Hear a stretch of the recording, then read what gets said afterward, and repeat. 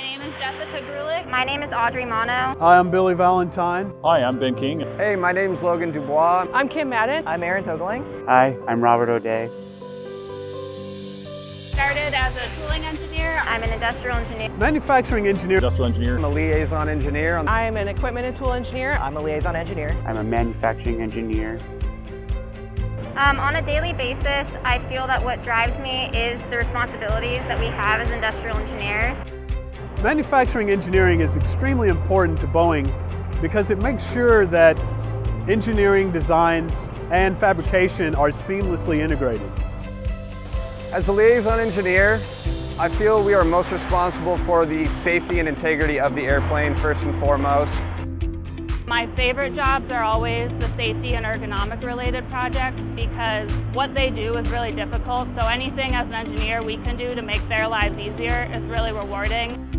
We develop staffing plans, business plans writ large. We do a lot of process improvement. And in general, we're the, the advocate for operations and manufacturing in an engineering context.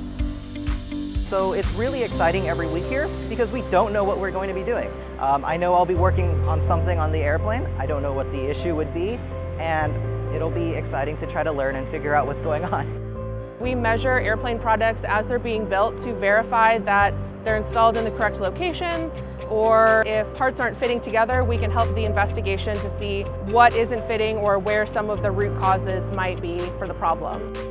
There's an extreme focus on what does the production system look like to build these airplanes? How do we further design for manufacturability and assembly? How do we utilize our lean processes, automation, and all our processes and tools to make it happen? I wouldn't have ever thought that I would be able to work so closely next to the airplane and have such a hands-on job. If you look behind me, you'll see the 737 MAX assembly line in Renton. This airplane behind us comes in in smaller sections and we put it all together on this factory floor. The Boeing factory in Everett, Washington, you can fit all of Disneyland inside it. The scale is just so different than when you're at the airport in the jetway. You come down and you just look up and it's a whole airplane. You really don't appreciate the scale until you're on the floor right next to them. The magnitude and the size really takes your breath away. There, it's astonishing. You're working with trying to take an ideal view that the designers have and turn it into a real product. No two days are ever the same, and there's no possibility of being bored.